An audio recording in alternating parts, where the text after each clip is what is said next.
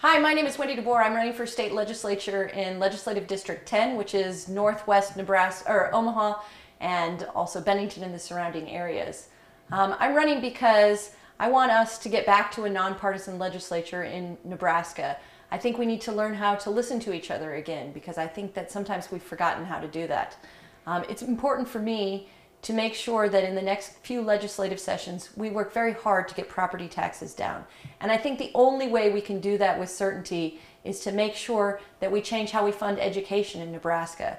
Right now, so much is done through property taxes. That's why they're so high.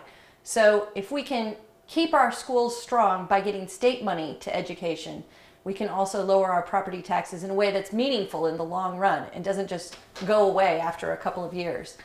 I also want to make sure that we have high quality public schools and good jobs available to kids when they graduate from those schools. Um, and I think that we have many opportunities to do that in the next couple of legislative sessions. Thank you.